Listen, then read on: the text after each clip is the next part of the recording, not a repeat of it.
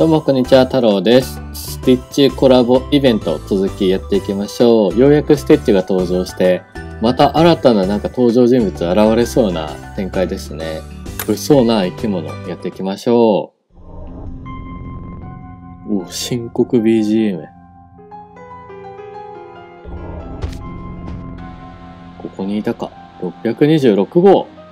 なんかスティッチも警戒してる表情。これまさか。なんか俺見たよ、これ。こいつ7メートルあるんでしょでかい。めちゃくちゃでかいらしい。びっくり。ちょっと待って、フロイドだけなんかちょっと楽しそうなんだけど。おっつって、なんか面白そうなの来たじゃんみたいな表情してる。なんだよ、あの化け物は。もしかしてあれって、サメ俺もそう思ったわ。あれどう見てもでっけえサメだよ。やべえ、テンション上がる。アズール見てみろよ。陸を歩くサメだぜ。アズールドン引きしてますが。サメ？なのか、あれは？犬よりもっと確信が持ってない。サメというより、ナマズでは。いやでも、ナマズにあんな立派な背びれはないか。サメが服着て日本足で歩いてる。こんな見たことねえわ。私はサメではない。サメじゃない。喋った。さっきのは空耳じゃなかったのか。私の名はガントゥ。上からの指示により626号宇宙に連行する。626号宇宙ガントゥーかな何もかも理解が及ばぬ。まさか生きているうちにこんな奇て烈な事態に直面するとは。面白い。はは、実に面白いの笑ってる。あのさ、お前の言ってることよくわかんねえんだけど、626号って何？?626 号とそこにいる試作品のことだ。今はステッチと名乗っているようだがな。大きさがやっぱ全然違うね。ステッチ警戒してますが。それは破壊するためだけに生み出された化け物だ。あくまでモンスターで不良品。このまま野放しにしていたは宇宙全体に危険が及ぶ。悪いことは言わない。おとなしく626号こちらに渡してもらおう。破壊するためだけに生み出された？スティッチが？えー、お前そんなやるわけ？すげえじゃん。ちょフロイドさ、戦いたくなっちゃったんじゃない？さすがに宇宙全体に危険。お嘘でしょ。でもまあ、マジで気性荒いし、危ない生き物なのは納得。こんな物騒な生き物、あいつが言う通り、さっさと引き渡しちまいましょう。なんか懐かれてない組だからさ、ここはさ、早く引き渡しちゃえよ、みたいな。そっち派になってるよね。ああ、そうするのが正解だ。え？この話終わったんじゃない？それに、連行するということは、あのガントゥーというものは島の外に出る術を持っているんじゃないか。あ、そうね、連れてってもらおうよ。ええ、スティッチさんを引き渡せば、この島から脱出するための交渉を持ちかけられるかもしれません。よし、フロイド、スティッチさんをガントゥーさんに渡しなさい。え、やだ。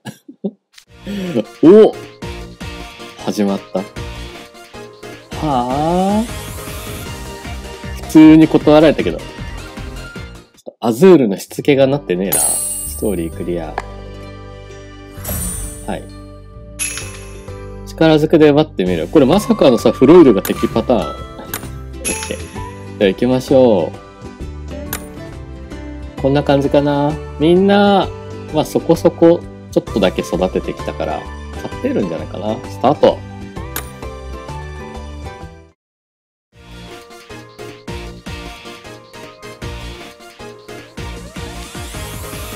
今なんと言った？こんな面白いやつ渡すわけねえじゃん。スティッチは俺が学園で買うんだよ。あかん学園で買ってしまう？こいつ。びっくりしてるけど、本人も。626号を買う？本気で言っているのか？当然。買うかどうかはともかく、わしもスティッチを落とさぬというフロイドの意見に賛成じゃ。リリア先輩まで何を言うんですか？冷静な判断を求めます。わしは冷静じゃよ。そこのもの、ワンツーと言ったか？お主を信じていいという保証がない。その身のこなし、ただものではないじゃろう。よく訓練された者のの動きじゃ。ふっ、わかるか。お前はただものではないようだな。達人同士で分かり合ってんだけど。ふふふ、それにの。それに。わしとスティッチはもうすっかり仲良しになってしまったんじゃ。お主らこそ冷静になれ。どう見てもガントゥーよりスティッチの方が面白くて可愛い。可愛いよりも重要なことがこの世にあるか？いや、ない。反語使ってきたけど。やっぱ全然冷静じゃねえじゃん。そうか、残念だ。私に逆らうというのなら、貴様らに痛い目に遭ってもらうしかない。えこれでかい敵と戦うのかな？ひー。のしのしこっちに歩いてくるんだぞ。近くで見るとますますでけえ。俺らの数倍は背丈があるぞ。これさ、7メートルって言ってるから、マジでジャック3、3人分ぐらいあるんじゃない？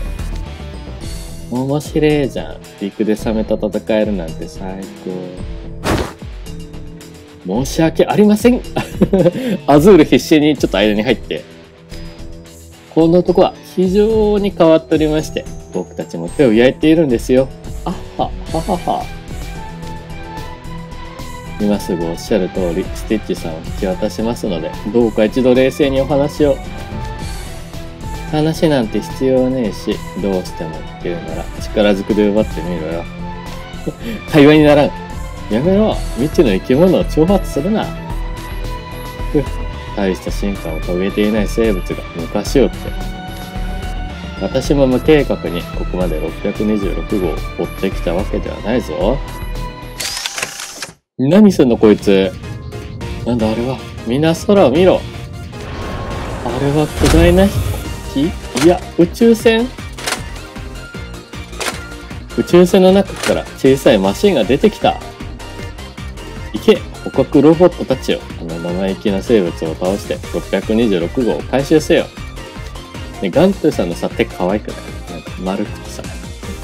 やれるもんならやってみれば。かかってこいよ、おら。ちょっとマジでさ、戦い始まっちゃったよ。これ捕獲ロボッいい度胸が終わりだねト。よっしゃ、行くか。で、両魔法打ちたいんだけど、あ、撃てる。面白いよし。やだなんてね感謝したよエース蹴散らすぞパパッとなリリア先輩もしかして俺の真似？おスティッチ出てくんじゃん。パパッとなっつって真似してんの。見た目。うん、勝ちたいっすね。許可しよかろうこれで。反論はなし別じゃほらもっとよしいいじゃん。話にならない出直してこい一瞬スティッチ出てくるのいいね。ストーリークリア。お、ジャンクパーツゲットした。はい。反論の余地なしじゃ、行きましょうか。揉め事が始まっちまったなお、夕方になってる。ジャングル。ああ、ああ、ここまで逃げてくれば大丈夫か？くんくん。匂いが遠い。なんとか夫が巻いたみたいっす。とりあえず、ロボットを壊して逃げてきちまったけど。リリア先輩、フロイド先輩、なんであんなことしたんすか？ラントゥーとかいうやつをうまく乗せれば、あいつの乗り物で学園に返してもらえたかもしれないのに。めちゃくちゃ怒ってたんだぞ。仕方ないじゃろう。信じる根拠がない。スイッチを信じる根拠もないでしょう。仲間あるこっちゃかな。リドルさんの言う通り、そもそもあったばかりの生き物を助ける義理がありません。わけのわからない生き物とつるむなんてごめんだぜ。さっき指噛まれたしな。噛まれた組。ブーブーブーブー。エースもお尻噛まれてるしね。うわ、ひど。お前らよくそんな残酷なこと言えんね。引くわー。お前、よう言ったな。おい。フロイドからこのセリフが出てくるとは思わなかったわ。一番残酷な男が。最後はスティッチそっちのけだっただろう。ロボットを破壊するのに夢中だった君に言われたくない。おこだよ、リドル君は。あんなに強く恐ろしい相手に大切な友達を引き渡すなど、優しいわしにはとてもできる。さっき凄みのある笑顔で捕獲ロボットをボコボコに壊してましたよね。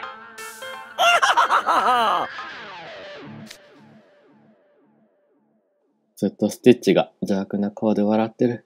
こいつやっぱ相当ずる賢いんじゃね？いいかい？もうすぐ日が暮れる。明かりもなければ寝床もない。こんな状況では、たとえ魔法があっても、夜を明かすことは容易じゃないはずだ。それに、ラントゥーがあの程度で諦めるとも思えない。またあのロボットが襲ってくるはず。安全のために一刻も早く引き返し、ええー、また話をするべき？うん、実に正論、反論の余地なしじゃ。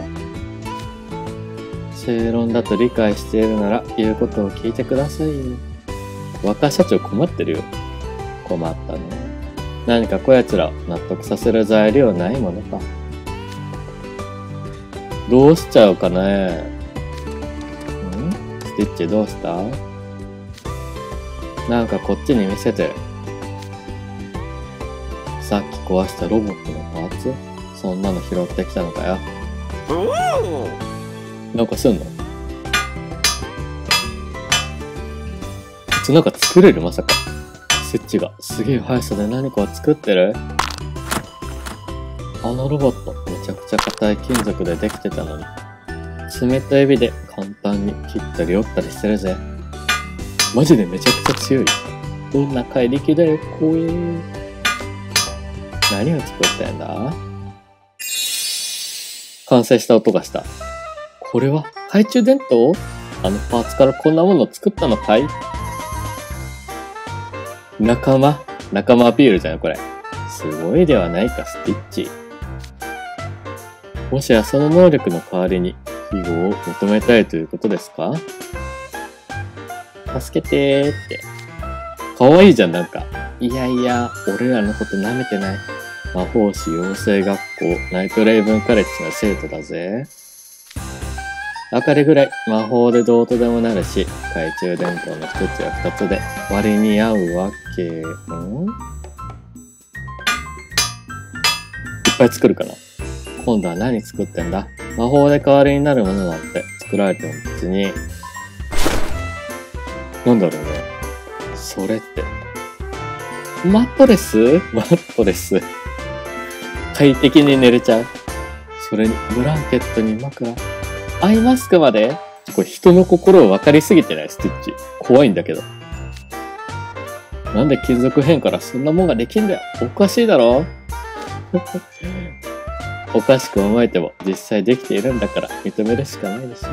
なっとるやろがいって。ロボットの中にあったコードを分解して編んだのでしょうか？太い指なのにとても器用ですね。魔力は感じなかったのに工作でこんなものを生み出すなんてすごい技術だ。どうやらスティッチは我々の何倍も何百倍も賢いようじゃのう。続く。ちょっと勢いに任せて戦っちゃったけど、どうなっちゃうかってところかな。なんかスティッチの側につきついてあげたいよね。助けてあげたい気持ちちょっと出てきたよ俺も。お前らちょっと似てね行けましょう。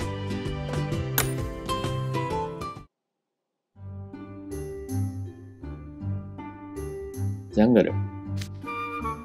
どうやらスティッチは我々の何倍も何百倍も賢いようじゃの。かわいい。なんか地面に絵を描き始めたんだけど、この平べったい船のようなものは、モムスと出会った場所で壊れていた乗り物か？んで、こっちに書いたのは、さっき戦ったロボットと、壊して手に入れたパーツ。わかったあの船まで戻って、パーツが揃ったら、脱出できるよ、みたいな。俺がき、何？宇宙船を直す、みたいな。そんな感じかな。どうだ？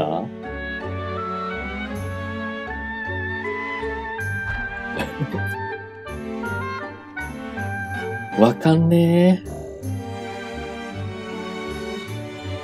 何言ってんだろう。みんなわかる？はあはあ、わかったわ。本当に？本当にわかった？お前。スティッチを追いかけてくるガントゥーのロボットから部品を奪えば、スティッチの宇宙船を直せる。お俺と一緒。んで、直ったらそれに俺らを乗っけて学園に戻してくれるってことだよな。わかってた。あのガントゥーというエイリアンは油断ならない。自分を引き渡したところで交渉がうまくいくとも限らない。また仮に交渉できたとしても、その約束が果たされるという保証もない。だったら自分と手を組んだ方が良い。宇宙船を直してくれたら必ず望む場所まで乗せていってやる。ということをスティッチは伝えたいようだな。二人ともなんでわかるんですか？フロイド、リリア先輩、そしてスティッチ。波長がぴったり合っているようだね。フロイド先輩とリリア先輩っていう最悪のコンビに凶暴な仲間が加入しちまった。こんな変な奴の言うことなんか聞きたくねえけど、こっちを攻撃してきたガントゥーンもムカつくんだぞ。でもなんかさ、今回さ、マスコットがさ、いるから、こいつの影薄くない？なんか、変なやつって、お前も変なやつやんとかちょっと今思ったけど、ちょっと影が薄いな、今回グリム。頑張れ。お前もっと活躍しろ。うーん、スティッチと手を組む流れじゃない？これ。お？嬉しいか、お前。かわいいな。乗っかってきたから、スティッチでかくね？うわ、スティッチが肩の上に乗った。仲間と判断したのでしょうか？本当に現金な生き物ですよね。